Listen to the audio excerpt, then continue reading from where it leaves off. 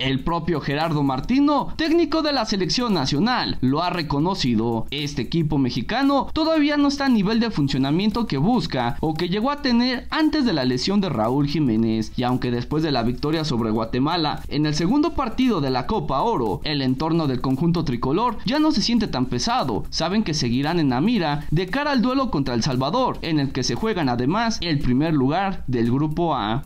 Debemos tener la misma confianza que siempre ha tenido México realmente. La verdad es que se nos ha complicado la definición y nos ha costado realmente, pero con este partido que acabamos de pasar tomamos confianza, nos dio gol, comentó Orbelín Pineda para W Deportes. Pineda fue el autor del tercer tanto en contra de los Chapines en un duelo para el que fue requerido de inicio en lugar del lesionado Irwin Lozano, quien dejó la concentración del Tri luego de sufrir un duro golpe en el primer partido de la Copa ante Trinidad y Tobago, y desde los primeros minutos entendió la complejidad que representan los rivales. Por eso es que mañana contra El Salvador tampoco va a ser fácil, va a ser un equipo que se va a cerrar y va a dar pocos espacios, pero tenemos que hacerlo de la mejor manera, así lo Orbelín Pineda. De ahí añadió el atacante nacional, que deben ser muy inteligentes y aprovechar las opciones que se le presenten. En lo personal, siempre estar a la disposición del entrenador, tratar de hacer lo que sé y ayudar a mis compañeros.